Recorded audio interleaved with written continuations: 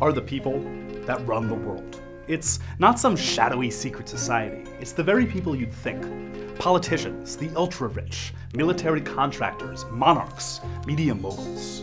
Hi, I'm Sean Morrow, the host of Who Is the Podcast, the first podcast from Now This and iHeartRadio. On Who Is, I'll dive deep into the fascinating lives of the people who run things, those whose decisions impact every aspect of our lives.